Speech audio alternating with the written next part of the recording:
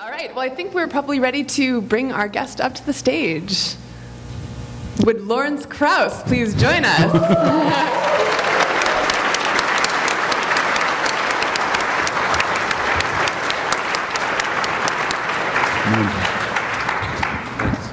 Great to have you. Thank you.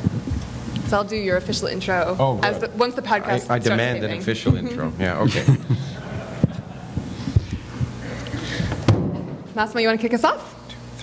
Oh yeah, it's Uh, that's me, your right? job. Has been for four years. Like I should know that sort of stuff, right? Um, okay. Oh, that's nice. I don't have my introduction. Oh yes, I do. I should also, as as Julia pointed out, I should also have memorized it in four years. But It's like two lines. It's been the same yeah, two lines li- for four listen to years. this. Okay, ready? Ready? Welcome to Rationally Speaking, the podcast where we explore the borderlands between reason and nonsense. I am Massimo Pigliucci, your host, and with me, as always, is my co-host Julia Galef. Julia, what are we going to talk about today? Well, Massimo, today is a very special episode. First, because we are here recording live in front of the uh, lovely audience at the uh, Northeast Conference on Science, New York Con- I'm sorry. What was that Northeast? Conference on Science and Skepticism.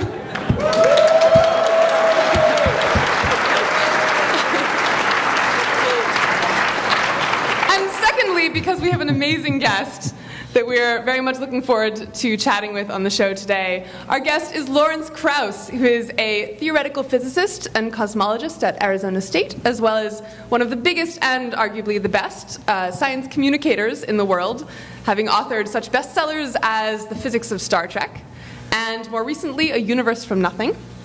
Um, although arguably his biggest claim to fame is having been once quoted by Miley Cyrus, Absolutely. for which reason alone he was a shoe-in for the Rationally Speaking podcast. It's true. I keep forgetting to put that in my CV, but I suppose I It should. should be at the top in, you know, gold glitter letters, really.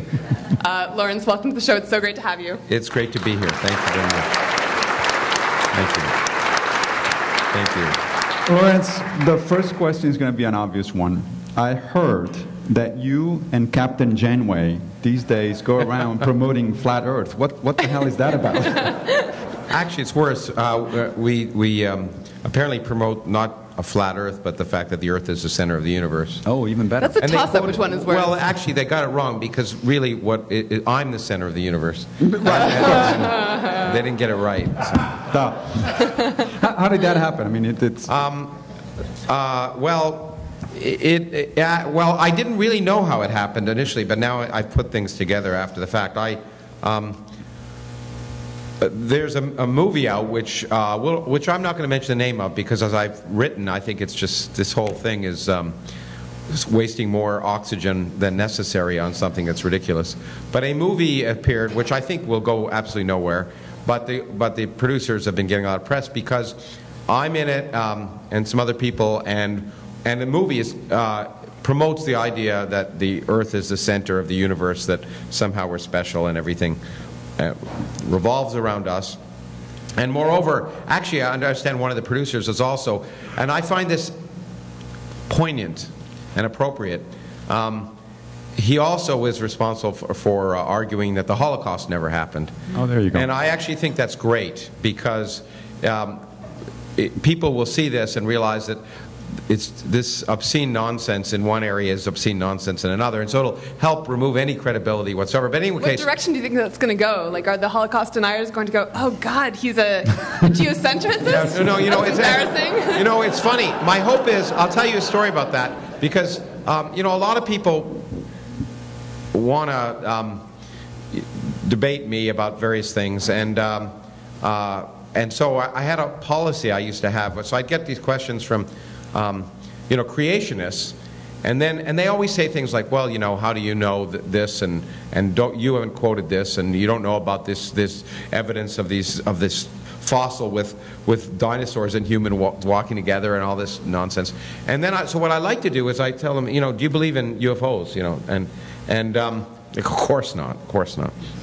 And I and and I say, well, how do you know? Because are UFO people who want to always be on stage with me. And they, they always say things like, well, you don't know about the 1946 episode in Croatia where six people had their navels, you know, whatever, anyway. And, uh, and, Wait, I and want then- to find out what happened to their navels. yeah, well, I, I can't, it's a public, Oh, I can't tell you. But uh, It's a anyway, family um, show, right. Yeah, exactly. so anyway, what I love to do is I say, you know, to these people who tell me that I need to know the details of their favorite creation story, I said, you, you believe in UFOs? And I say, no. And I say, well, you know, uh, you haven't followed this story in Croatia, blah, blah, blah. And then, and then to the UFO people, I do the same thing. I said, you believe in creation? And they go, no, no, of course I'm scientific. I don't believe in that. And then, and, and it works wonderfully because if you can show the one set of people that there's a bunch of nuts, it only once, however, I met um, a UFO creationist, and that was not. know. but anyway, in this case, I think what'll happen is, I hope, is it'll do just that. Though people will sort of people who like to think that um, they're scientific, but of course they don't buy this aspect of science, but they think that's ridiculous, like the Holocaust really happened, and they'll say that's ridiculous. That they'll realize that anyone who promotes both is probably not credible. But anyway, I didn't fi- finish the story. So what happened is I they interviewed me. I thought they used footage of me. I'm in. I'm on far too many things, and uh, I thought that they just used footage of me from another interview that maybe they bought. And I'm very careful now about allowing rights for anything I say, just so you know, to go anywhere else. But uh, You did sign the But release, apparently, so- um, you know, they just came to interview me as and, and, and misrepresented themselves.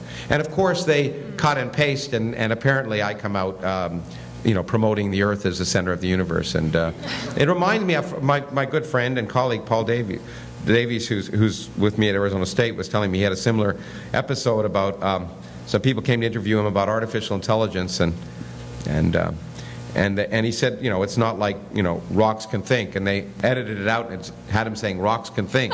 anyway, Wow. anyway, anyway, so you've got to be subject to that, and so, but it's also, but Cap, Kathryn Janeway, Kate Mulgrew, is apparently narrates the, the whole stupid thing, and um, which surprised me.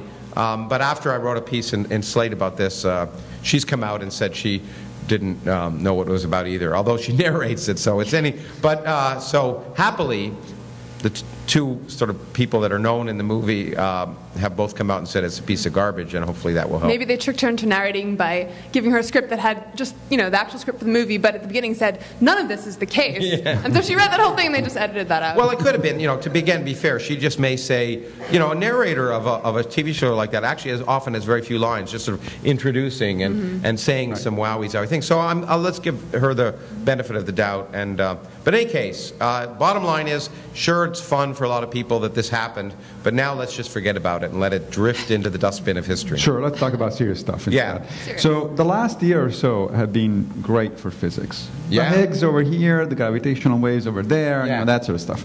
Now, w- most of the people in, in, in the audience probably know at least some of the, of the sort of the basic science. What, I, what I'd like to talk about with you is the big picture. What, what do you take out of these things and whatever else is going on right now in theoretical physics in terms of what, is, what do they tell us big picture wise about the world that we didn't know before you know is there anything shake up that is going on in the fundamental physics community and cosmology community Yeah, well, they, they, I think actually they, they are the, the most surprising thing about all these developments is that they suggest that some of our ideas were right. It, it is, if you're a theoretical physicist um, working in your room at night or with your students, uh, it is the, the, the weirdest not, thing. not working and not with your students Well, right? no, No, working room okay. at night All right. alone or working during the day Okay. with my students. Let's make that clear. um, you don't edit it out. Uh, and uh, um, the, it, it is the least expected thing is that something you're writing down that nature actually obeys, because it never happens. As I say, most of the time it doesn't happen for me. Um, and it's really surprising when these ideas that have been developed that are, in some sense, very speculative, relatively wild extrapolations from what we know, actually correspond to nature. So the Higgs, the discovery of the Higgs, for example, is something I was sure the Higgs didn't exist. It was just too slippery an explanation.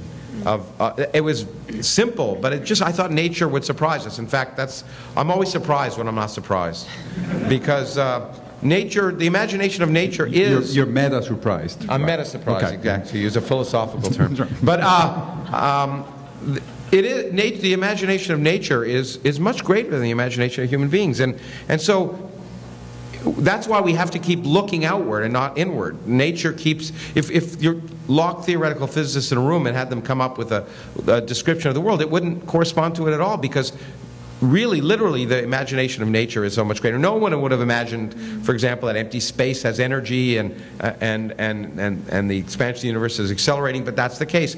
At the same time, the Higgs particle is related to the idea that there's this invisible field throughout the universe that you can't detect, which sounds like religion. And, uh, they don't call it the God particle yeah, for well, nothing. well, one person called the God particle was a bad name. I wrote a piece, as you probably know, called it the Godless particle.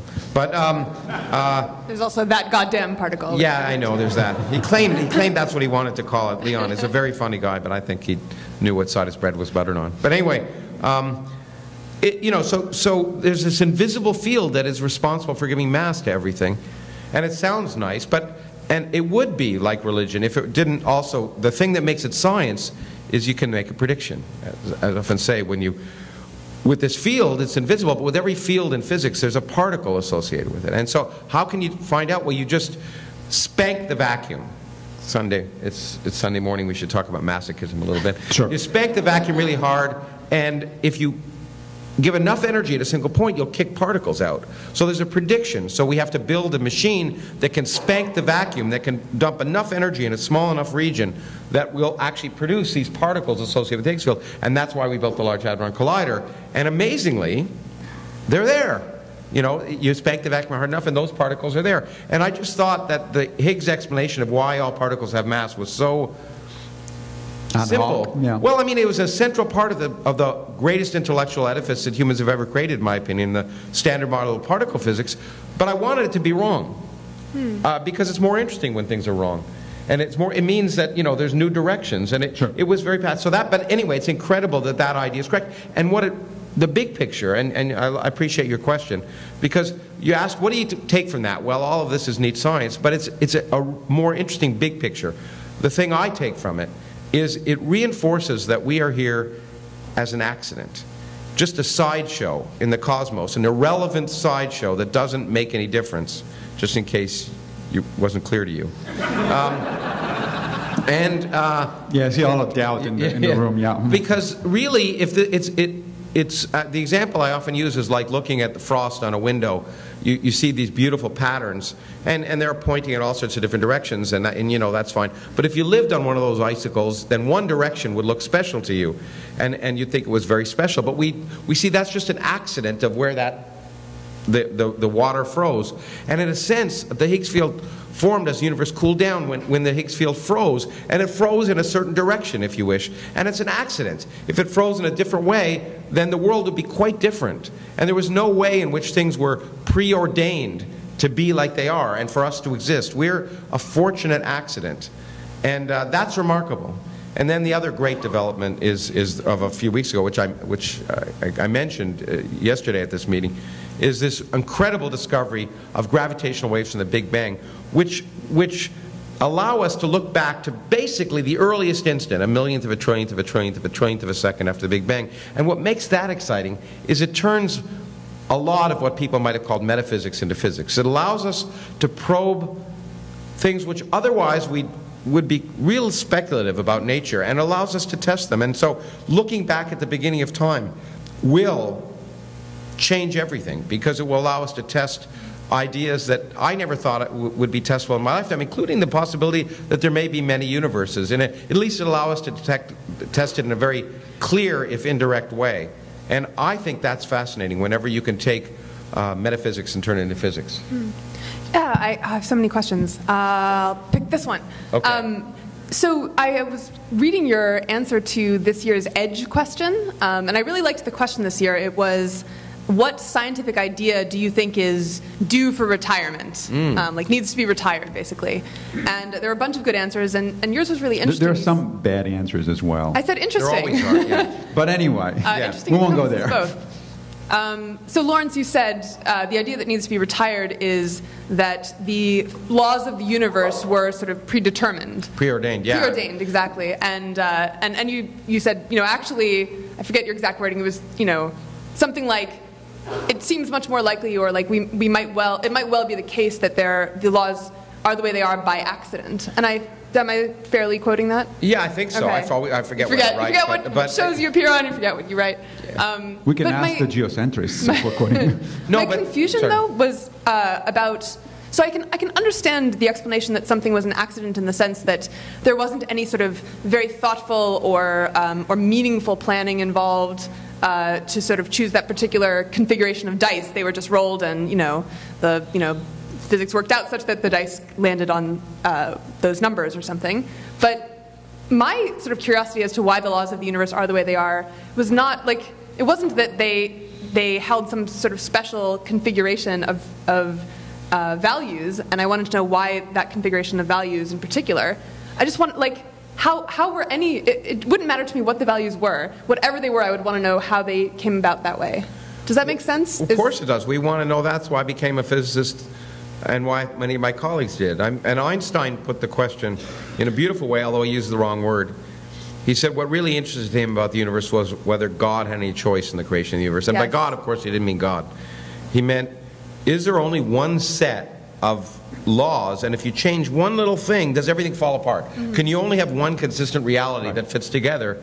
And, it, and, and I think most of us physicists in my generation, anyway, and before, grew up with the idea that, yeah, that's probably the case, and we want to understand why. I wanted to know why the universe had to be the way it is, and that's one of the reasons why I became a scientist. And, uh, and so it's a fascinating question. And it's a little disappointing if there is no answer to that question, and namely, that the universe doesn't have to be the way it is. And our universe would may be one of many universes, and the laws of physics could be different in each one. And the reason the laws are what they are is natural selection. It's not, it's not when, when, when one says that the universe is the way it is uh, uh, so, so that we could live in it, it sounds, and many people misinterpret that to be intelligent design or some, some, you know, some divine thing. But really, it's just natural selection. It's the same reason that bees can see the colors of flowers they can see so they can get nectar. It's not that they were designed to do that, as if they couldn't, they couldn't reproduce. And bottom line is, it's not too surprising for us to find ourselves living in a universe in which we can live. The opposite would be very surprising. And, and you'd write, you could write a whole book about that. But, um, and so it may be that, of course, um, in our universe, it allows life forms to evolve and, and matter to evolve and the laws of physics to, to evolve in such a, or to be in such a way that we can have, be having this conversation now. But it could be quite different in many other universes, and some of those universes might not harbor life. Although it's important to point out that just because the parameters are very different, we don't know. We don't know what the, the locus of all possibilities for life or intelligent life are. We know one example, okay, carbon-based life forms living around a star uh, with water and sunlight. And so we, we, we look where the light is, literally, and we say, okay, that's an example. But it could be in other universes that are quite different, different life forms form.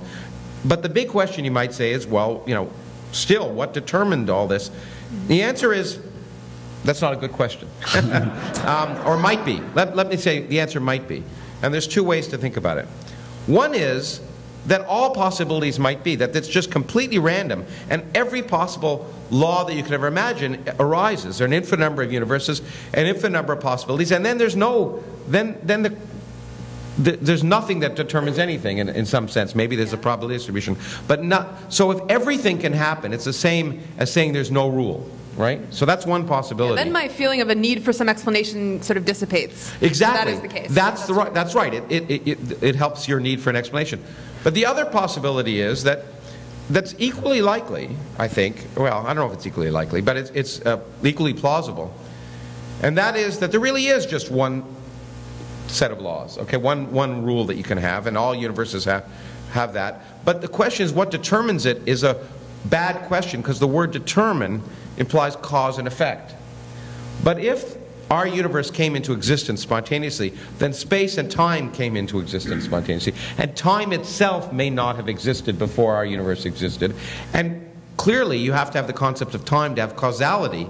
And so the question, what happened before, or what was the cause, may not be a good question. It's something that seems intuitively reasonable to us, but the whole thing about science that makes it so wonderful is it's taught us that our intuitive reason is suspect. We have to question ourselves. It's the meeting about skeptics. The hardest person to convince of anything is yourself. We always have to question what seems natural, what seems sensible. That's what we learn in science. And sensible questions, as my, as my friend Richard Dawkins would say, common sense arose in the Pleistocene in Africa so you could avoid being eaten by lions, but not to understand quantum mechanics. And therefore, yeah, that wouldn't be useful against lions. No. Yeah, exactly. I mean, you know, you could calculate the wave function as you're being eaten, but nevertheless.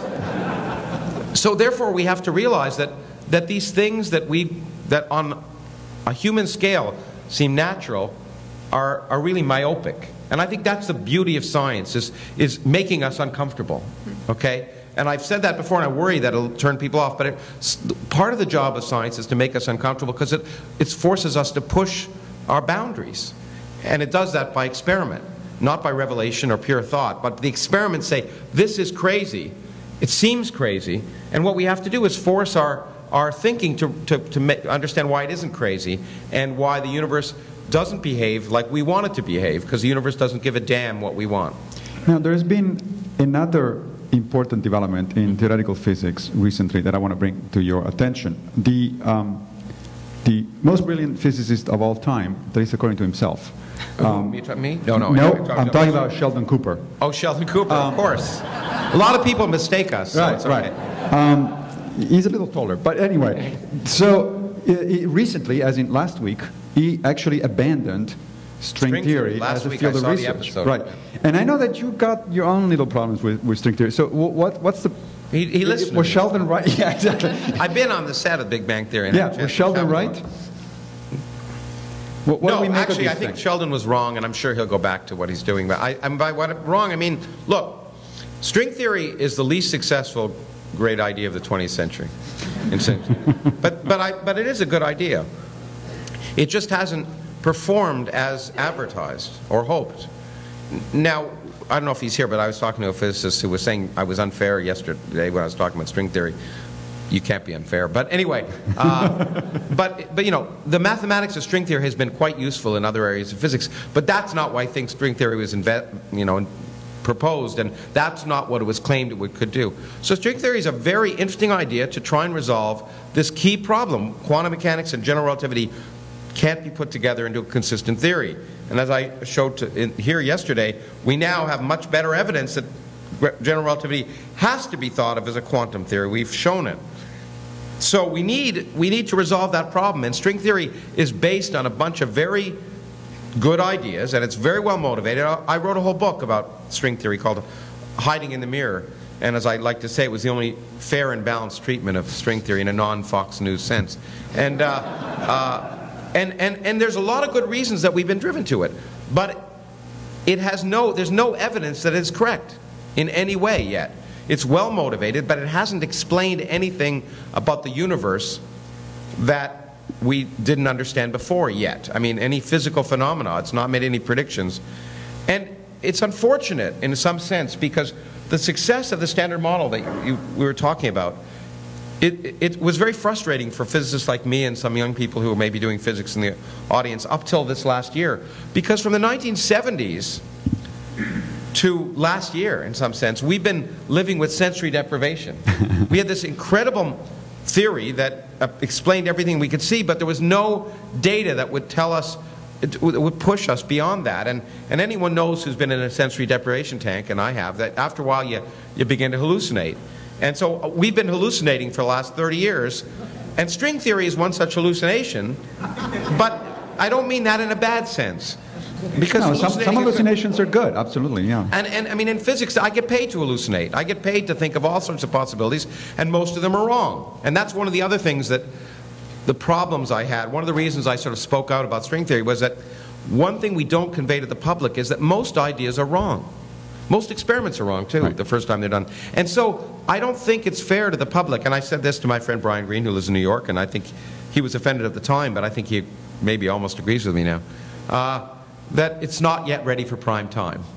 He was offended at the time because he was trying to put it in prime time. But, but, uh, Uh, you know, there are a lot of ideas that are really interesting, but we do, there's no need to talk about them in public because there are incredible ideas that actually do describe the universe, that actually have made progress, and those are the ones we should focus on because if we promote all of our ideas, most of them are wrong, and the public gets the sense like, as well, there's nothing really objective about science. One day they think this, the next day they think that. I shouldn't believe any of it. So I think we have to be very careful when we communicate to the public about science that we're talking about things that have that are well tested and established. Or if we're not, that we make it quite clear that they're fascinating but speculative. And we and we owe it to the public to, to make that distinction. Now that's an interesting point. I, I want to actually go back for a second, uh, in a second, to, to string theory before we leave that, that topic. But but the comment you just made is interesting. So um, it seems to me that one of the reasons why Brian Greene and many other mm. people have been, in fact, you're right, putting stuff out there for prime time, which is arguably not ready. Well, I, I mean, I think he tried very carefully. I mean, I, yeah, yeah, I have no, respect for him. Absolutely, it's not a criticism of him. It's a, I think it's an observation, more a more general observation, because it doesn't actually uh, apply only to physics, to uh, you know public outreach in physics. Uh, we've, we've heard even at this conference uh, similar problems may be happening in you know neurobiology, where a lot of interesting research is going on, but then uh, the popularization of that research, even by some neurobiologists, goes way beyond. Mm -hmm um, what is, uh, what is warrant, warranted by, by the actual evidence. I'm wondering, you, you mentioned Fox News earlier, and uh, is, is science popularizing uh, beginning to be affected by a similar issue um, that, um, like along the lines of you know, the 24-hour uh, networks. In other words, if you have a lot of uh, journals and magazines and newspapers and, and blogs and all that that always that are dedicated to science, you got to talk about something, and you got to talk about something special and surprising and stunning all the time. Yeah. And science just doesn't progress at that rate. Well, I think it's. I think you're absolutely right, but I think it's not just true for science. It's true for news in general. Yes. If you watch CNN, right. most of it isn't news. Right. The 24 hours, you got to fill up with something, and I think there is this great, and it's it's been I don't think it's, it's recent. I've, I've watched it since, since I was younger. I used to call it People Magazine Science. And I think the, the notion is that every thing and every person has to be touted as the next Einstein. Whenever they say, oh, this young person, this young physicist, is the next Einstein. And it has to be done with hyperbole because the feeling is you've got to rise above the noise and you've got to make news. And it's really unfortunate that, first of all, I don't generally like science when it's presented through its personalities. Because, like it or not, most scientists are like most academics, and that's pretty boring. And and it's and everyone has to be presented as some neat guy who had this dream in the middle of the night. Actually, neat woman. It's worse than that because it's not only most of us are boring, but all of us have a big ego. So when you couple a big ego with boring personality, it's just really it's, not. It's good. insufferable. It's, it's insufferable. Let me. Yeah, yeah. and uh, uh, but so. It, it, shouldn't. I mean, look, there, people like to learn history and they want to know about people. So, I, in, even in my own books, I try and weave the hi history in often because it is it, it's comforting. But and but the trouble is when people try and say, well, the ideas are, are are not of interest, so we'll just we'll try and stress the people or something, and and and that'll be our story on this new, neat new discovery. When in fact the ideas are wonderful. And I, I was just talking to a friend of mine last night about this that that um, we, in, in watching public, when watching television in particular, uh, um, the way science is done on TV, I think it's because of the, the Sesame Street generation that need constant stimulation. Right. But if you, if you compare many of the programs, and they'll remain unnamed, um, that you see of science today, and you compare, say, my, one of my favorites was Jacob Bronowski, The Ascent of Man. And once I was at a meeting where I compared that to another program, which again will be unnamed, a more recent one. We're talking about quantum mechanics. And this other program, it was had all these effects and telephones ringing and all these other things. And in Jacob Bronowski, you see him standing there talking to a camera, mesmerizing you with the ideas. And I just think it's a shame that people, that TV producers in particular, think that you need to substitute graphics or, or stimulation for the ideas because the ideas are fascinating. I'm convinced that people will be fascinated the, about those ideas if you present them correctly. And it's a shame that it's not done. You want to return to string theory? Yeah, I want to yeah, return to string theory for a second. Oh, you have a question about that? Uh, yeah. So my question is, I haven't yet heard. I've heard plenty of very smart people being disappointed with string theory's uh, progress or lack thereof. Um, but I haven't yet heard anyone even sort of postulating what we might turn to next, Well, look- like, look- or where we might even start looking for an alternative. Well, you know, Yeah, for instance, what the hell is loop quantum gravity? Well, loop quantum gravity. I mean, it's very funny that the people who do loop quantum gravity criticize string theory because if you live in if you live in glass houses, you shouldn't throw stones. But uh, um, the the key point, and I've emphasized this before, is the reason string theory is so popular is essentially the only game in town. Now, there's this other game, but it's I, I'd have to say among most physicists, they, they think that string theory is more compelling. It really is the best idea to try and unify gravity and quantum mechanics, but but the best idea may not be the right idea, and it's not, and, and, and this is really important. Elegance doesn't matter in physics. We have a generation of young, one of the my problems with string theory, and it's going away now that we have data about other areas of physics, because the rats are, are, are leaving this ship. Um, but there was a generation of young people who seemed to think for a long time that complicated or difficult was the equivalent of great. And it's not in science. What's great in science are ideas that actually work.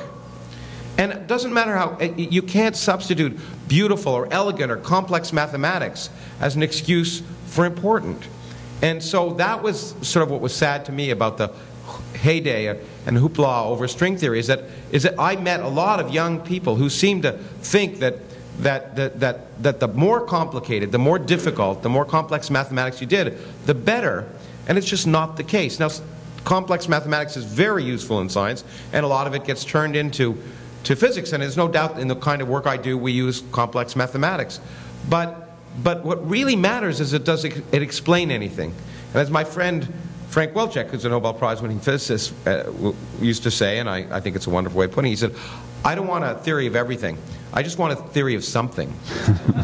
Right. Speaking of theory of something versus everything, so uh, one of the problems, um, as, as far as I understand it, and I'm not the physicist, and I don't play one on TV either, um, with string theory is, is the following. It's not just, as you pointed out a minute ago, that, well, so far it has failed to make predictions that are testable empirically, so it has not made empirical contact, which is a problem in and of itself. But from my understanding, there are some versions of the theory that actually are uh, being presented as sort of not one theory, but a landscape of theory with a lar- very, very, very large number of different solutions.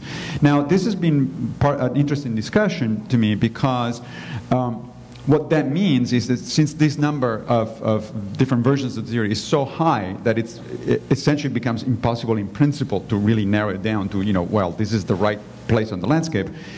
Well, what happened is, you know, some people have been starting to ask, well, then if you go that direction, are you really doing science at all at that point? And It's- interestingly, I want to know, I want to know what you think about this. Interesting in the response from some string theorists has been to basically to bite the bullet and say, yes, this is going to be a new way of doing science. Uh, science will have to detach itself, at least in, in part, from empirical evidence and just rely on the, you know, the compelling mathematics. I take it you're skeptical of that sort of thing. Yeah, of course. I think, you know, people have argued a lot of things before they make progress to justify what they're doing. It's happened in science. And then, and then, then you make progress, and all of that goes away.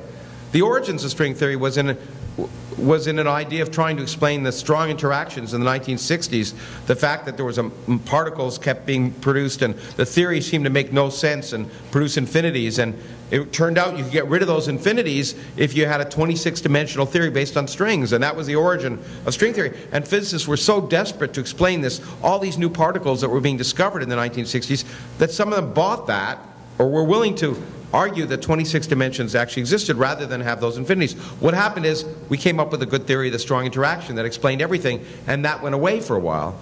Now, it turned out that those ideas could be then applied to another theory that had infinities, namely gravity, and a lot of people bought into it. Now, the, the notion that uh, something you said was very important. Well, I, I thought, I'm sure everything you said was very important, but, but, but uh, the, Of course. you use the word theory, and you use the word theory, and we shouldn't use the word theory. In fact, I've convinced Brian of this. Um, it is an insult to evolution to call string theory theory. Um, and it's really important because people get the impression that since the colloquial term for theory is very different than a scientific term theory. That theories are just some ideas you have and it's fun to think about. But theory, of course, is the highest level you can attain in science. It's something that's been tested over and over again. Quantum theory, general theory of relativity. Uh, these are things that are, or evolution. It, it, these are things that have been tested over time and work effectively. String theory is none of that. Moreover, it, as we have excitingly discovered, it's not a bad thing. We discovered the theory, the, the model, the idea, the mathematics wasn't what we thought it was. It turns out strings may not even be important. It, they may be irrelevant. It turns out these things called membranes or membranes right. might be important. And so the ideas are very are evolving at a great rate. And so we don't even know what that quote unquote theory is if it exists. So it's unfair. It's, we shouldn't be calling that. We should uh, string hypothesis. But strings may not even be relevant.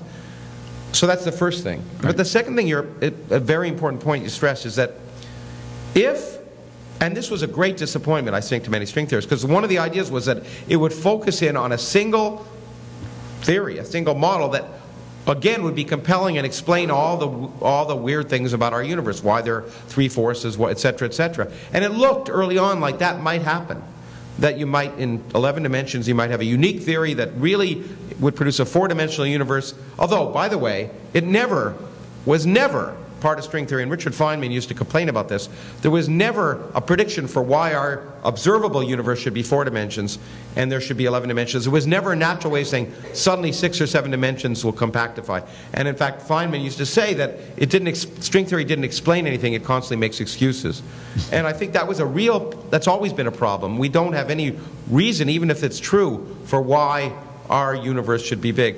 But the hope was that it, this unique theory would, would explain our universe. And instead, now I think the consensus on, among most, but not all string theorists, because my friend David Gross, who's another Nobel Prize winning physicist, who was also one of the people who pushed string theory and continues to, he actually thinks that much of this discussion about landscapes is misplaced and there really is, will be a unique theory. And it may be. But right now, the problem is it predicts potentially every different possible law of physics, set of laws of physics may result from this one idea. And then if, if it can, therefore, by the way, it can never be wrong, right? Because anything, right. anything you measure can be consistent with one of these. And as you point out, maybe that, you know, is that science? If you can't be proved wrong, most of us would say it's not science, because science is based on what you can prove wrong, not right.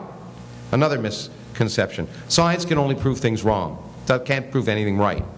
Okay, just prove if it's if it agrees with experiment, then the idea isn't ruled out, and and it's like Sherlock Holmes. You keep getting rid of the stuff that doesn't work, and you hope what's left over has some element of truth. That's very Popperian of you. Yes. Thank you. Yeah. Well, you know, uh, I was influenced by books I read as a youngster, but I've grown up. Yep.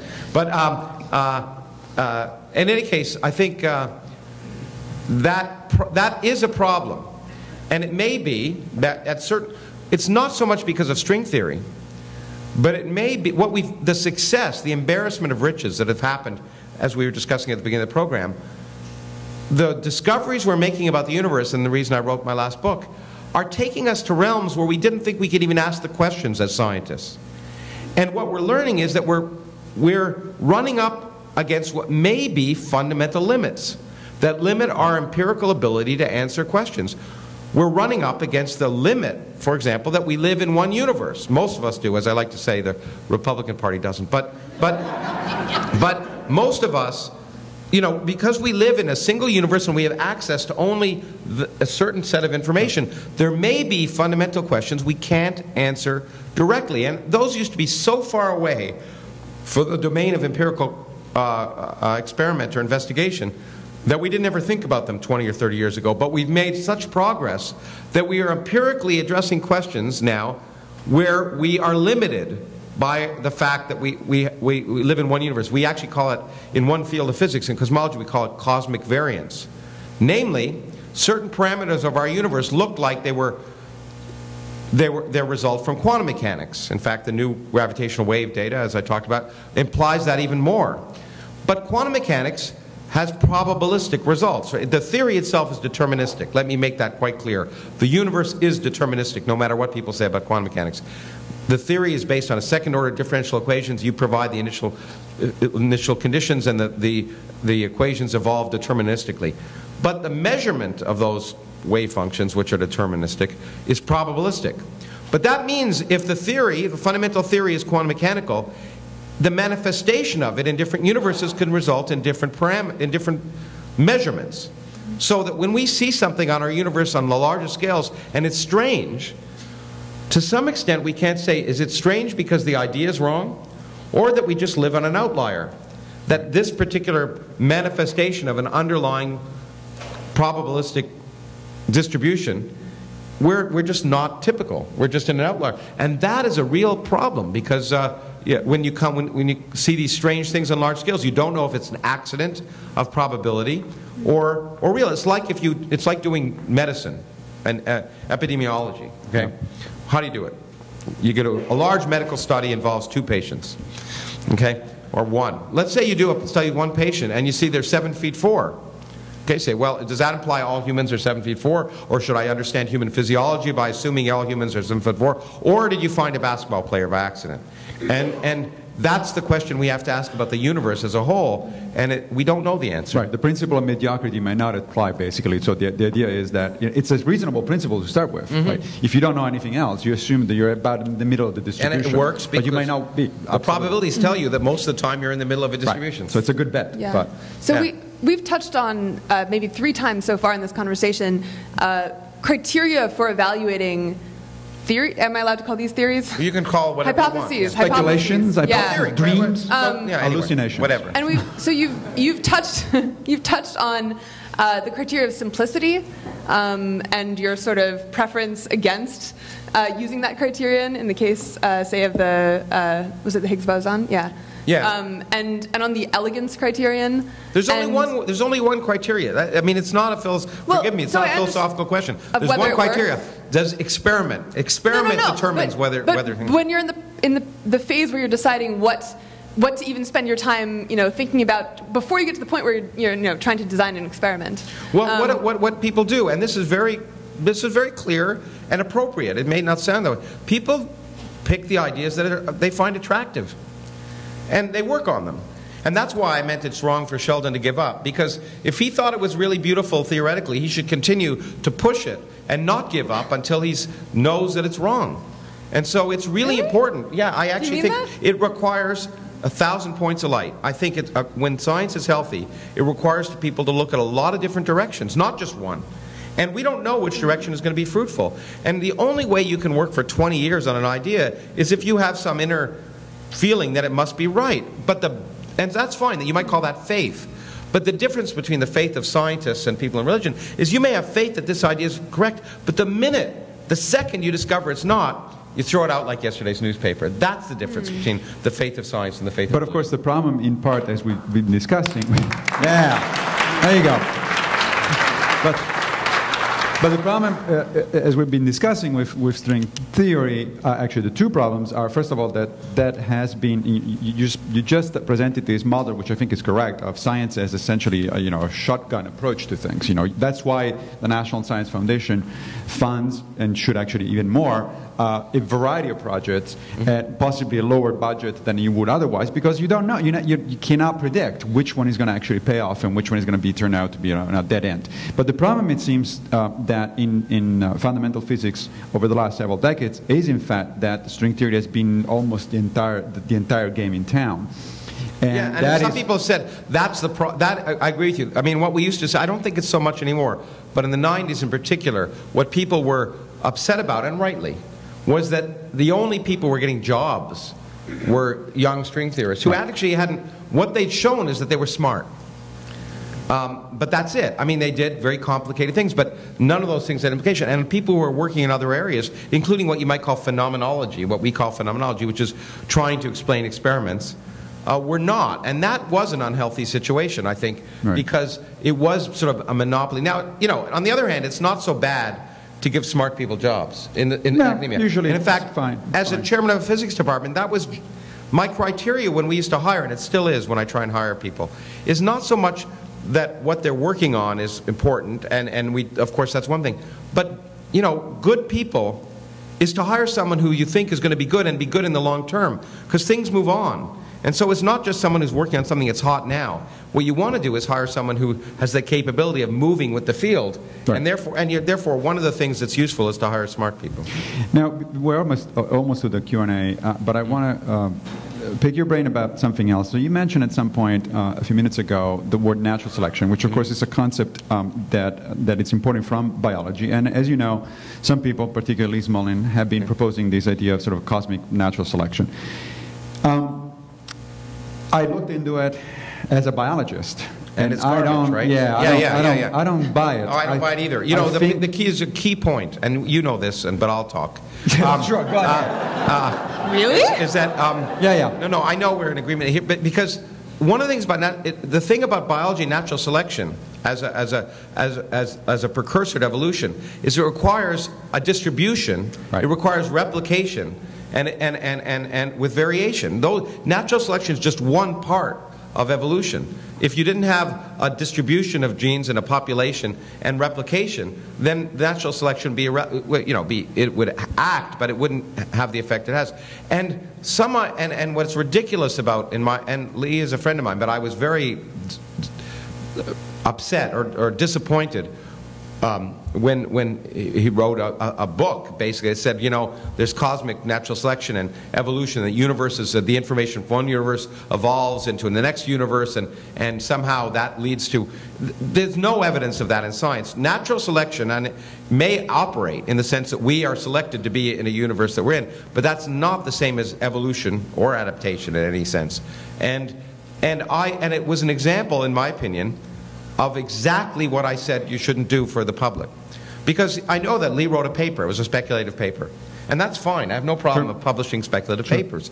But what I have a problem with, and I apologize, Lee, if you're listening to this, but what I, what I, what I have a problem with is that is when you take those speculative papers, which deserve to be there, but are, most of them are going to go by the wayside, and write for the public as if it's somehow well defined, well accepted theory among scientists, because you're doing everyone a disservice, in my opinion. And Professor Krauss just passed Biology 101. So, um, should we go to the. Q&A? I guess we should. How much, uh, Jamie? How much time do we have for Q and A? 15 minutes, right? Oh, okay, great. Yeah. So, Yeah. All right. So I think Jamie's going to go around with a mic. No. Or, I'm oh, a line. people Okay. Can we have this mic live? Great. From Brian. And so uh, most of our audience knows Brian, uh, who helped us put together Stimulus Response. Who helped us put together Stimulus Response. Uh, but uh, and we're going to have him lead off with a with a physics question. oh, good. All right. Is this, yeah, is right this there. on? We can see you now. Great. Hi. So I'm a string theorist. You know, some of my best students are string theorists. I just wouldn't want my daughter to marry one. That's No, all. I,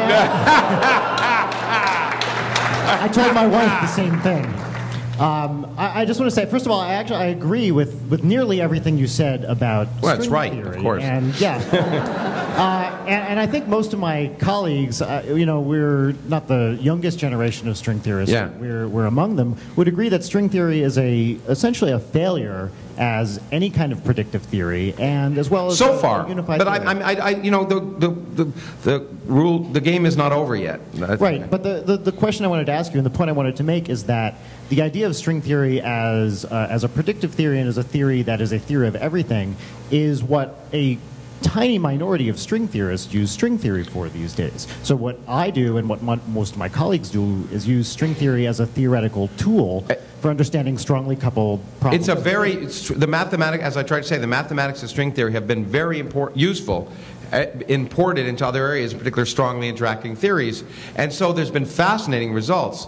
And, and, so one can't deny that. But if you're as old as me, and I'm a lot older than you, Yeah. that uh, the, the, uh, uh, it's sort of ironic to see those very people who are, who are touting this as potentially theory of everything saying, no, no, what's really useful as a tool in these other Well, I- It is, but it's a huge disappointment compared I, to the I, other I, and I completely agree. But do you think it's fair to call it uh, a failure, uh, even though it, it's had what, what I view as It- quite amazing accomplishments as a theoretical tool? As a th- but okay, so it's a theoretical tool that is not a failure. Okay, but as a but as a model for understanding the world, in particular f- for understanding the, the four forces of nature and unifying gravity and quantum mechanics and predicting the pr- fundamental parameters of the world. That's been a failure. Yeah, those I- were that's what it was designed Absolutely. for. And there's and that, you know what's great about about science is you don't. It's true about all of science. You never know where it's going to lead. So good ideas are useful in many, and string theory is an example. Hard work generally pays off. And, and, and there was a tremendous amount of hard work developing the mathematics of string theory, and it's paid off in another area. There's no, doubt about not it. Not if you're Sisyphus. But, but the, the thing is, um, now I'm confused because uh, can we have an example, very briefly, of something that string theory was actually useful for in terms of science, not in terms of you know, developing more complex mathematics? That's great. Well, so, so one thing that is, is currently under consideration is using this idea of holography or ADS-CFT to study systems in condensed matter physics. So I think it's not completely clear if, uh, if, if, it, if there's an experimental prediction tied to this yet. But no, there's even- for there's- understanding, you know, That- that for sounds like the non-Fermi same kind of problem. No, no, but No, no, but there's, but there's, you know, uh, what you're working on actually, and by the way, one of my students is one of the people who applied string theory quant- to uh, condensed matter. I'm very pleased with his work there. But, but another area is that um, you, many of you know I've written about F- Richard Feynman, and, and, and Feynman developed these things called Feynman diagrams, which are what we use in particle physics to try and calculate processes. And w- literally, it was problems with those Feynman diagram calculations that led people to the notion of string theory as a, as a different way of solving this problem in the 1960s. But, and it didn't, okay? But it turns out that what string theory gives you is a mathematical tool that allows you to sum an infinite number of Feynman diagrams, which you couldn't do in any finite time without that mathematics, and try and get results about it, theories for which you couldn't get predictions before, strongly interacting theories. So that's where I think the mathematics of string theory has been quite useful. Yeah, I agree. And Can we have a next move question? That. Yeah. As um, a, a reader of, uh, a layman and just a reader of science through the popular press, when it was reported that uh, neutrinos are measured to go faster than light, my first thought was, I'll just wait till they correct themselves. But how did you experience that? Well, of course. Can you repeat the Oh, yeah. So the question was, well, as a lay reader, when they we first read that neutrinos travel faster than light, he wisely, he didn't add that, but that's my idea. He wisely uh, assumed that you just wait till it corrects itself. And by the way, that should be your that should be your response to any new result that's quoted in the press. Is to be no, I'm serious. I mean, not just casting aspersions on the press, and they deserve that. But but uh, but but it's that you should be skeptical. That's what this whole thing's about. And so, if something's been done once and it's surprising, most surprising results are wrong. And so that's why I often think it's premature to, to, as it was in the case of neutrinos traveling faster than light. My response was a sigh. I mean, my first response was, it's even worse. I knew it was wrong. For, there were so many, because again, people think that science is just a set of disconnected facts. But you know, you can't make neutrinos travel faster than light without other implications. And, and, and, you know, having to do with quantum field theory, which is the theory at the basis of the standard model, which works for understanding everything we, every experiment that's ever been done. So it's not as if you can, you can, you know, change one thing with impunity. It's not you, you change that fact there, you make, you make all sorts of other things wrong. So it was pretty. Now that doesn't mean it was necessarily wrong, okay? But it meant it was highly likely it was wrong. It was I- a good bet. yeah, I have this mantra, which is, which is uh, from, I got from the publisher of the New York Times, which is, I like to keep an open mind, but not so open that my brains fall out. And, and my argument, and I think Massimo will appreciate this in particular, um, I knew it was wrong right away, empirically, because the experiment occurred, these neutrinos were generated in Geneva, and they were measured in a, at a tunnel in, in the Italian uh, Alps, basically. Um, a- and they arrived uh, 60 nanoseconds too early. And nothing arrives early in Italy. It was That's just right. a, That's right. No, I can. It, that's an empirical law. Next. Hey, um, so when you were talking about um, the the bounds of only living in one universe, um, I was thinking there's all the um, the theories about having the multiple universes and all of that stuff. I'm probably not I completely understand this right, but could there ever be a situation where like multiple universe would exist in a way that um, they could Interact? interact or expand in each other? And like, Again, how would our universe is expanding and all this? We don't even completely understand the stuff that's making it expand and making it accelerate expand. And would that? How would what would happen? Yeah, would they collide? together? Okay, so the question was, with all this talk about multiple universes, is there any way that they might actually interact or collide uh, in a way that we would therefore know about them? And the answer is, in principle, yes. And there's some ideas that would allow that to be the case, and some some string theory. String theory proposed explanations of dark energy, which are unlikely to be correct, um, uh, have argued that there's some impacts of other so-called branes that we live on this four-dimensional brane, and there are other branes in an 11-dimensional thing. Spelled how? universe B-R-A-N-E. Just Yeah. clarify. Okay, yeah. Not, not, not the stuff Yeah, with yeah. the neurons inside. Although they also have argued, it produces something called Boltzmann brains, which is a, a AIN. But anyway, we won't talk about that. But, uh, you know, and so you can imagine, think of these planes that are somehow moving and vibrating in extra dimensions, then maybe they interact, okay? That's possible. N- Highly unlikely, but possible.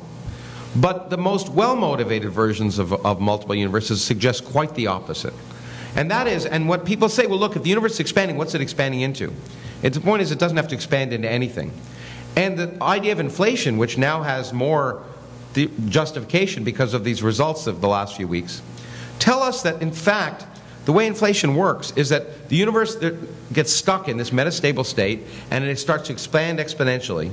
And one region of it sort of falls out of that. It's like sort of a phase transition happens, and that creates a big bang in that region. Uh, that region experiences what our universe has experienced since inflation.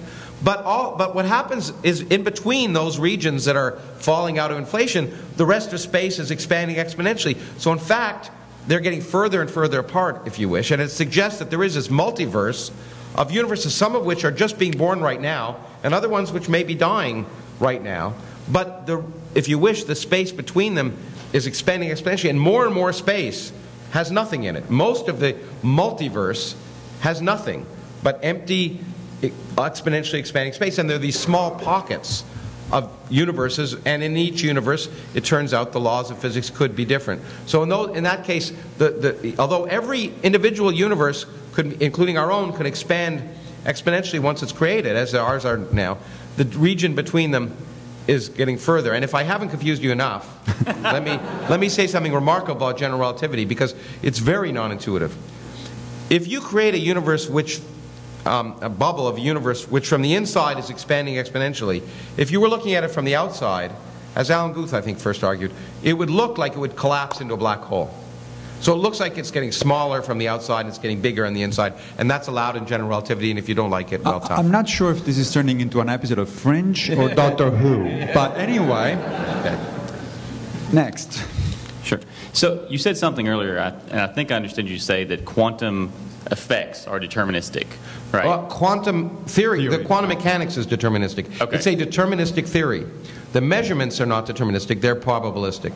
The, I mean, Right. the underlying wave function is completely determined, but when you try and measure that wave function, you'll get um, results which form a well-defined and completely determined probability distribution. So the probability distribution is determined with 100% preordained accuracy, if you wish, but, but what you measure is one, at each experiment is you measure one, one test of that probability distribution.